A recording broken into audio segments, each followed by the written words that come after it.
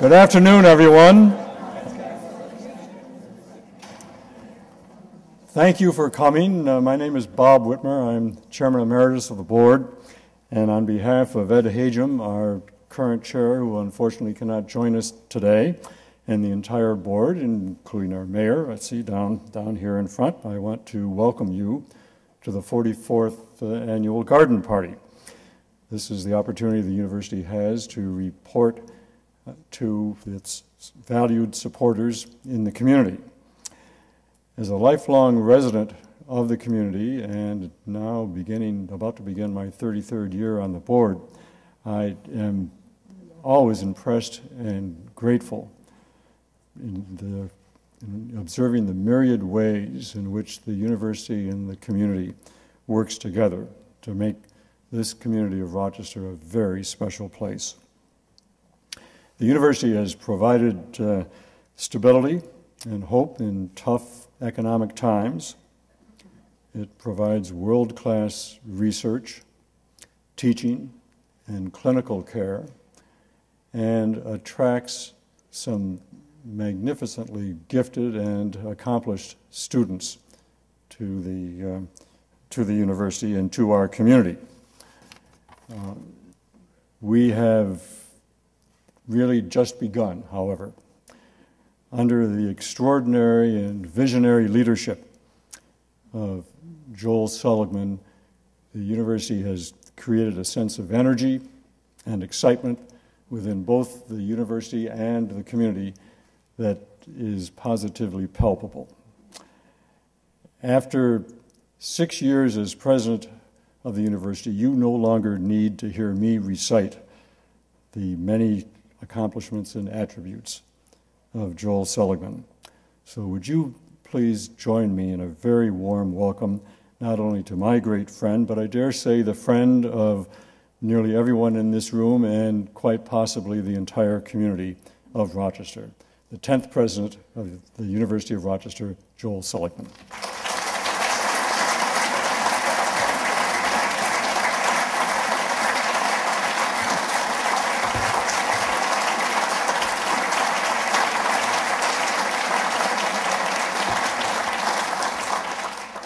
Bob, thank you.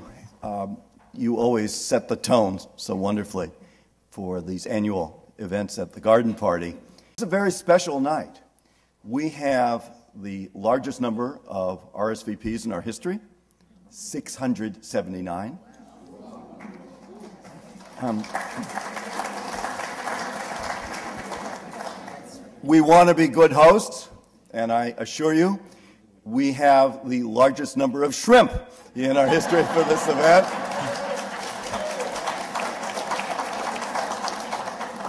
For those of you worried about the economy, um, shrimp fishing is doing really well. My theme tonight is a tale of two eras. And I want to begin in 1924 when our university was transformed by a capital campaign for what was in 1920 a college of arts and sciences with 577 students and 55 faculty into a national university that by the end of the decade included the New River campus, the School of Medicine and Dentistry, and Strong Memorial Hospital. In 10 days, between November 14th and November 24th, the University of Rochester successfully launched an unprecedented $10 million community capital campaign. One week later, George Eastman contributed an additional $6 million. The 1924 campaign provided much of the $8.2 million in cost of purchasing the Oak Hill Country Club and transforming it into the River campus, ultimately envisioned to be large enough to accommodate 10,000 students. In 1930, the New York Times would call the results of the capital campaign, and I quote, Rochester's new glory, end quote. The campaign led to the construction of Rush Rhees Library, Bausch and Lomb Hall, Dewey Hall, Morey Hall, Lattimore, Gavett, Strong Auditorium, Todd Union, the Alumni Gymnasium, Fauver Stadium, and the Burton and Crosby Residence Halls. The campaign was pivotal in helping fund construction of the School of Medicine and Dentistry, led to the creation in 1929 of our Institute of Optics and the renovation of Sibley Library, the world's finest music library. The university's endowment grew to $16.5 million by 1930, making it the sixth largest in the country. With expanded resources, the campaign transformed our faculty. The School of Medicine and Dentistry earlier had hired George Hoyt Whipple, later a Nobel laureate, to be the founding dean. Whipple recruited from Johns Hopkins and other leading schools of medicine so effectively that when the school opened in 1925, it already had 65 faculty. How did our predecessors do this? There was first an inspiring vision. Longtime university supporter George W. Todd persuaded University President Rush Rhees to locate the university's college on what was then the Oak Hill Golf Course, near where the new medical center was planned. Lead donors were decisive to the campaign. No one was more important than George Eastman. At a critical meeting in 1923, after Rhees presented options for the River campus ranging from five to ten million dollars, Eastman declared, and I quote, I think we'd better run it up the 10 million flag and see what we get. End quote. Eastman pledged the initial $2.5 million to the campaign. George Eastman and Rush Rhees already knew that John D. Rockefeller's General Education Board would pledge $2.5 million to match Eastman's commitment. Eastman challenged the Rochester community to raise an additional $5 million. An energetic campaign leadership focused on what the Rochester Review called big, wonderful gifts, including a $200,000 commitment from the Strong family to construct Strong Auditorium in honor of the late Henry Strong, $300,000 from the leadership of the Bausch Lomb Company to construct Bausch Lomb Hall. There were surprises, including a $300,000 commitment made by an anonymous friend of the university. In all, 10 subscriptions of $100,000 each accounted for $1 million of the city total. What made the Rochester campaign unprecedented was the extent to which it involved our entire community. Don't you love that? when the General City campaign opened on November 14, 1924, 600 volunteers attended a dinner in which targets publicly were announced. A publicity committee worked incessantly to articulate the case for the campaign, publishing a near daily $10 million bulletin during the 10 day public campaign. Ultimately, 15,000 letters were sent to potential donors. Successive campaign brochures addressed our university at the crossroads, our university as teacher and neighbor, and Build for Rochester. A history of the 1924 campaign records. There were subscriptions from Newsboys, School Children, American Legion Post, labor unions, fraternal, and other organizations. In all, there were 13,733 contributors, including support from 68.5% of living graduates. Underlying the success was a volunteer leadership that included 668 individuals organized into four core divisions, 10 districts, and 50 teams.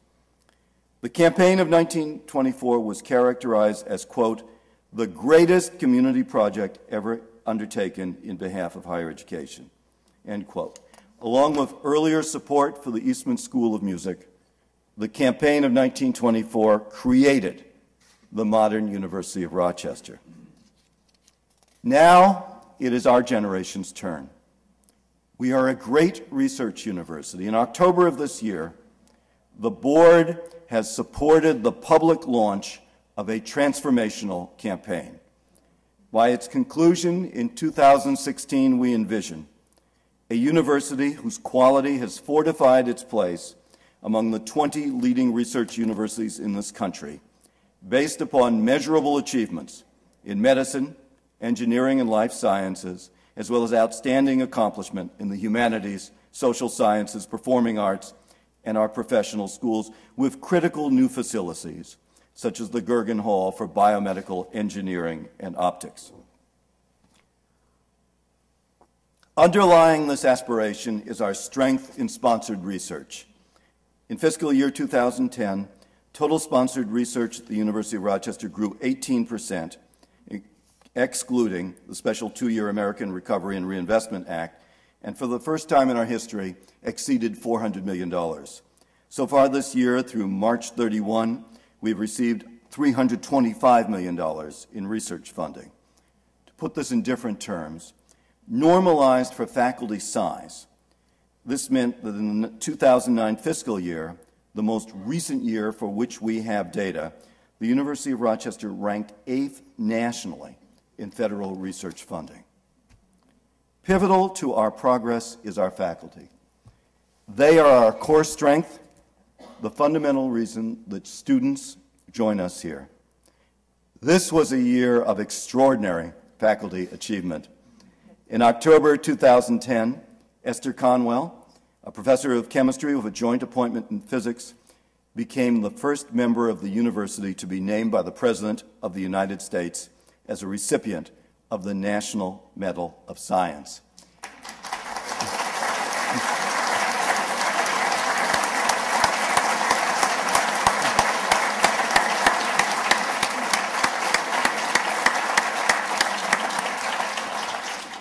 In February 2011, Ching Tang, the Doris Johns Cherry Endowed Professor of Chemical Engineering, was named as the recipient of the Wolf Prize for his invention of the organic light emitting diode, the technology that gave birth to a multi billion dollar industry that is today used in television, cell phones, and computer screens because of its energy efficiency, superior resolution, and thinness. Ching is widely known as the father of modern organic electronics. His work not only has had broad practical applications, but has led his fellow scholars to cite his publications over 10,000 times. One in th three Wolf Prize recipients in physics, chemistry, and medicine has gone on to win the Nobel Prize.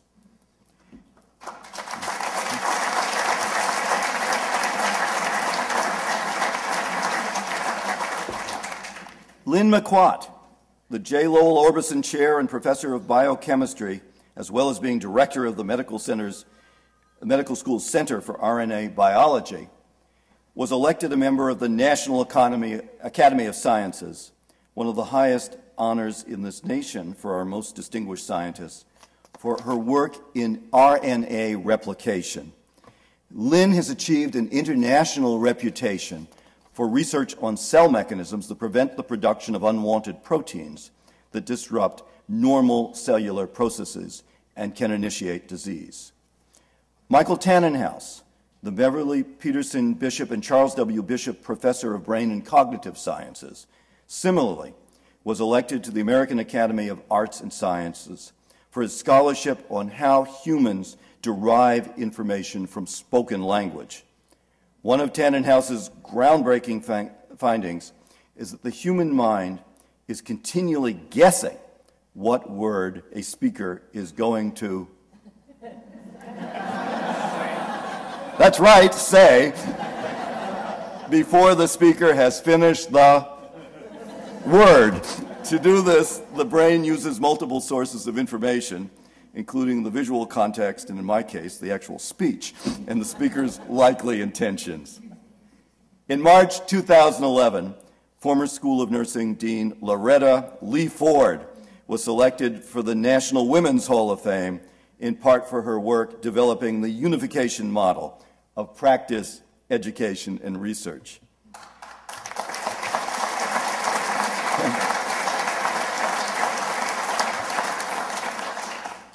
Thomas L. Campbell, the William Rocktaschel Professor and Chair of the Medical Center's Department of Family Medicine, was chosen President elect of the Association of Departments of Family Medicine. Tom is nationally recognized for his work on the role of family in medical practice and the influence of the family on health.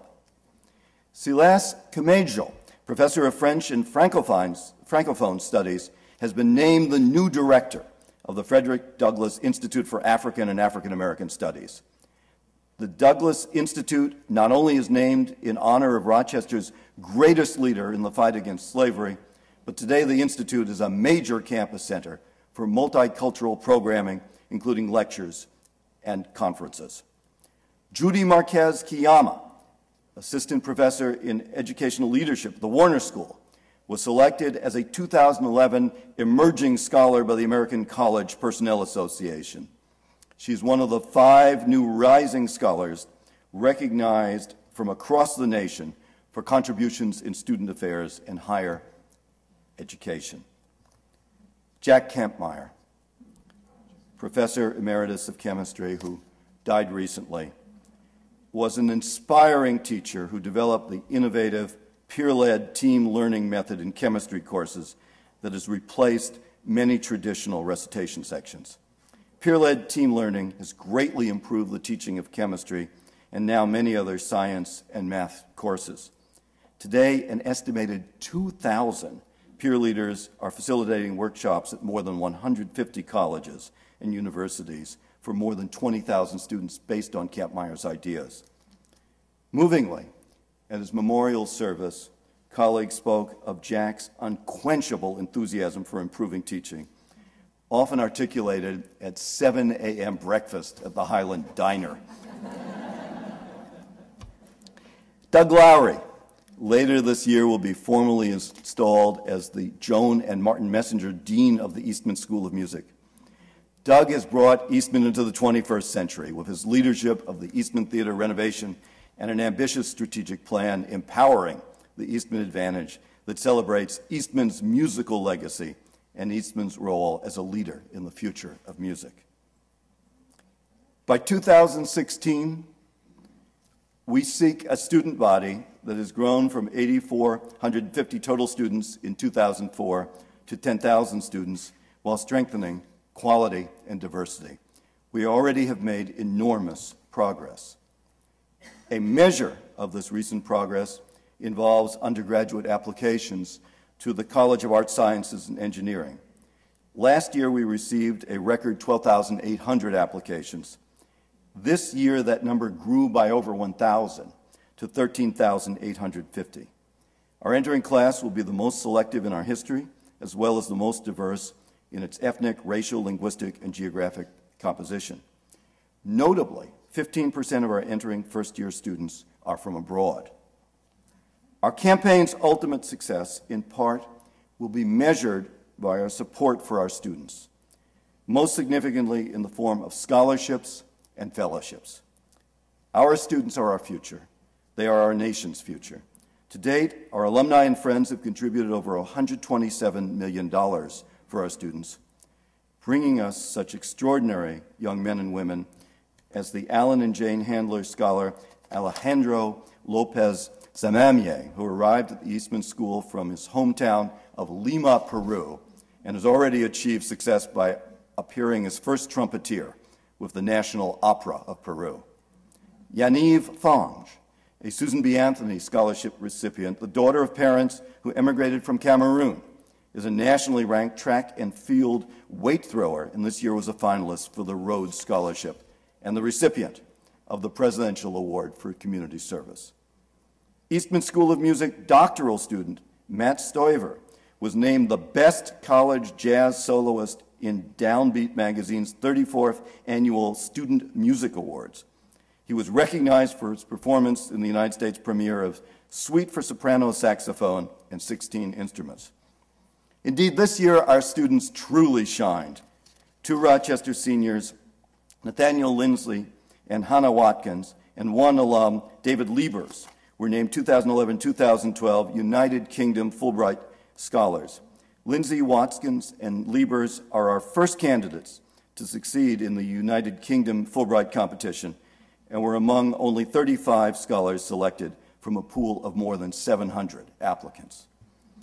In all, seven University of Rochester students won Fulbright Awards Eight undergraduate and four graduate students won National Science Foundation Graduate Research Fellowships. Eleven students received Gilman International Scholarships. Junior Scott Barenfeld won a Goldwater Scholarship. Senior Francis Ferraro won a National Defense Science and Engineering Graduate Fellowship. Hannah Watkins also received the or also was the university's first recipient of the Whitaker International Fellowship, and David Liebers also was the university's first recipient of a Gates Cambridge Scholarship. On January 26, 2011, Eastman School of Music trumpet student David Aguila appeared on The Tonight Show starring Jay Leno and demonstrated his amazing talent by simultaneously solving Rubik's Cube in his left hand while playing Haydn's trumpet concerto with his right hand. And I want you to know this is really hard when you're not playing a trumpet.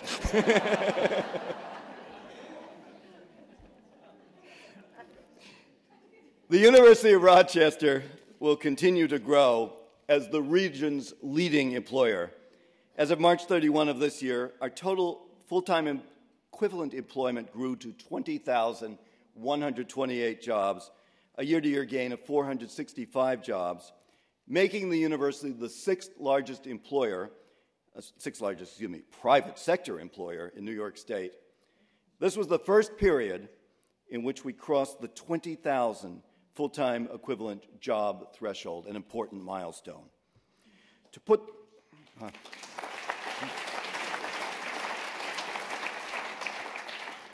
to put this in different terms, the first decade of the 21st century saw a fundamental transformation in the Rochester economy. During that decade, the greater Rochester area lost 43,000 manufacturing jobs. The University of Rochester, in contrast, increased employment by approximately 50%, having begun the 2000 decade with approximately 13,140 jobs. Even before our 2011 public announcement of our campaign, we have been on the move. Between December 6th and December 12, 2010, we celebrated the completion of the $47 million Eastman Theater renovation and expansion project with a six day festival week. Eastman now achieves George Eastman's dream with a renovated Kodak Hall, the new Hatch Recital Hall, the Wolk Atrium with its distinctive Chihuly sculpture, and Betty's Cafe. On February 20th, Renee Fleming returned to her alma mater for a gala dedicatory concert to celebrate the new Eastman Theater, concluding with an extraordinarily memorable final encore with three Eastman students. The concert also created the Renee Fleming Endowed Scholarship Fund, which will provide support for students majoring in voice. Our campaign will focus on great programs. We will provide medicine of the highest order, exemplified by the expansion of the Wilmot Cancer Center. This new three story addition will provide 20 new medical oncology beds, a new 12 bed bone marrow transplant unit, and imaging services for patients in the Wilmot Cancer Center. The medical center continues to develop plans for the new Golisano's Children's Hospital. We have a critical need for private pediatric rooms, more space to accommodate families, and the ability to bring all of our pediatric services together in a comprehensive way. This is a priority for the medical center and for the university to provide 21st care, 21st century care, first for our children and ultimately for all of the medical center's patients. In the years to come, the renovation of our clinical care will be one of the most important ways the university serves the greater Rochester community. On March 5th, 2011, Strong Memorial Hospital, consistent with that aspiration, launched its new $78 million electronic health record system, the single largest information technology project in university history, with the initial rollout to inpatient units, emergency departments, pharmacies, and outpatient oncology. E-Record replaces several disparate information systems and creates a single integrated electronic health record system shared by the university's entire medical enterprise, which gives all caregivers a comprehensive view of the patient's medical information. The ultimate goal is one patient, one record, one system. Highland Hospital will launch eRecord this month, and ambulatory services are scheduled to integrate e-record by the summer of 2012. In March 2011, the Simon School initiated a new master's program in New York City. That is somewhat south of here, concern, concentrating on finance. New York City also served as the backdrop for the second annual Simon Graduate School of Business Conference. This year, nearly 300 people gathered to hear experts from industry, government, and academia discuss emerging risks to America's financial stability. Among the speakers were New York, I'm sorry, New Jersey, let me get this right, New Jersey Governor Chris Christie, Super Freakonomics co author Steven Levitt, and the former United States Secretary of Commerce Peter G. Peterson. Peterson was honored as the Simon School's inaugural Executive of the Year. On March 15, 2011, Board Chair Ed Hajim and I presided at the announcement that the University Board had approved the construction of a $24 million new home for the Warner School of Education. This new building will be named the Raymond F. LeChase Hall in recognition of the late lead gift made by Raymond's son, University trustee Wayne LeChase, and Wayne's wife, Beverly. K 12 education is one of the great social challenges of the 21st century. While many universities have scaled back their support for schools of education, the University of Rochester is determined to invest in K 12 education as part of our commitment to the greater Rochester community and most of all to our children. Our city schools face daunting challenges.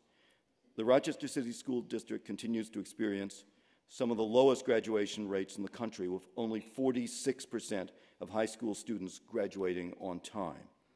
The New York State Department of Education late last year indicated that only 5% of Rochester high school graduates are prepared for college.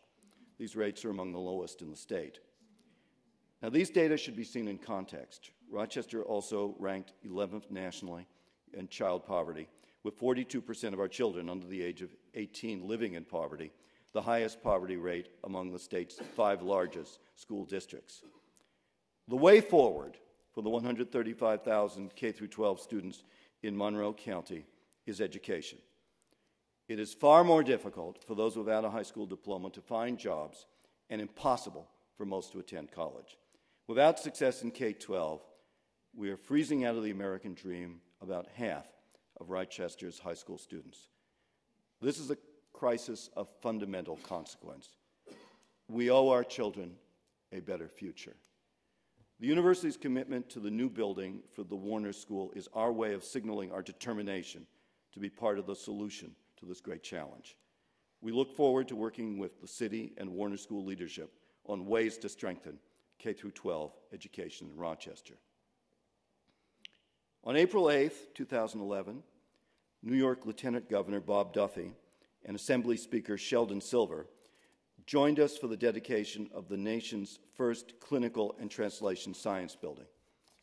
Brad Berk, the Medical Center Chief Executive Officer, publicly announced that the new 200,000 square foot building would be known as the Saunders Research Building in honor of E. Philip Saunders, whom Brad earlier that week had announced had made a $10 million gift to the medical center.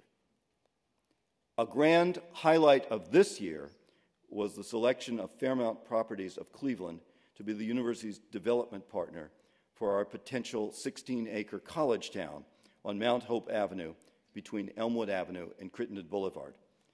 Fairmount has created successful spaces and programming events and has already submitted a proposed vision for Mount Hope that includes services in support of the campus and the community. College Town, if approved by our board, will include up to 500,000 square feet with a hotel and conference center, a YMCA that will offer health and fitness programs in collaboration with the medical center, childcare, gourmet, a gourmet grocery store, office space, other retail establishments, a transit center operated by the Regional Transit Authority would facilitate public transportation to the university and provide an eagerly, and I mean eagerly awaited parking facility. Like the earlier development at Brooks Landing, College Town will add strength to another adjoining community with vitally needed retail and community gathering spaces. This project has already received enthusiastic support from many in the neighborhood. Now, alas, College Town will mean the end of the Townhouse Motor Inn and Restaurant, which for decades was celebrated, among other things, as the university's only fireproof inn. the townhouse potentially will be succeeded by a 25,000 square foot bookstore on the corner of Mount Hope and Elmwood. Our Senior Vice President for Administration and Finance, Ron Paprocki, is leading university efforts in this very important project, including detailed due diligence. In a separate development, in April of this year, the Rochester Cultural Center Commission accepted the university's offer to purchase Block F, a 1.6 acre parcel of land on East Main Street, across the street from the Eastman School of Music. This parcel is of strategic importance to the Eastman School since it provides an opportunity for the expansion of the school's facilities in the future. The sale will be complete upon approval by the City Council and the County Legislature, as well as the university's environmental review. The intent is for the university to engage a private developer to undertake a mixed use development that likely will include residential and retail space. The Memorial Art Gallery, thanks to underwriting from the Ed Mack Foundation and our longtime gallery patron, Joan Feinblum, has commissioned site specific works by noted American sculptors Wendell Castle and Jackie Ferrara for its Centennial Sculpture Park, scheduled to open during the Memorial Art Gallery's 100th anniversary in 2013 2014. The new Sculpture Park will be a highlight of MAG's gala celebration of its first 100 years as one of this nation's great regional art museums. This year, our laboratory for laser energetics also celebrates an anniversary, its 40th. The Laser Lab is participating with Lawrence Livermore and other national labs in one of the 21st century's most critical energy experiments, the attempt to achieve nuclear fusion, that is, ignition in the laboratory, popularly known as NIF. This is the Manhattan Project of our time. As one scientist put it, a holy cow game changer. Laser fusion, unlike current nuclear power plants, is safe, cannot melt down, is carbon free, non radioactive, and potentially will provide an inexhaustible source of energy. Ladies and gentlemen, we have built the foundation for a comprehensive capital campaign. In four years, our George Eastman Circle, the University Annual Giving Society, has grown to 1,745 members, each of whom has made a five year pledge that help us double our annual fund in five years. We are on our way to the public announcement of the university's largest capital campaign in our history at our October 2011 Meliora weekend. All of you are invited. Former President Bill Clinton will be our keynote speaker. Meliora Weekend 2011 will feature over 200 events for alumni, parents, and friends from across the university. We anticipate that this year's Meliora Weekend will be the best attended in our history. Our time is now. We have the capacity, the will, and the talent. We build on enormous strengths. We are home to one of the greatest faculties of any research university in the country. We have world class programs in fields as varied as music, optics, financial economics, and neuromedicine. I believe, all of us at the university believe in our motto, Meliora, ever better. We seek to take a great research university and make it ever stronger. We seek to build an ever stronger Rochester. For we will never forget that we are an urban university, proud to be part of the Rochester community, deeply aware that our progress and Rochester's success are inextricably linked. Thank you.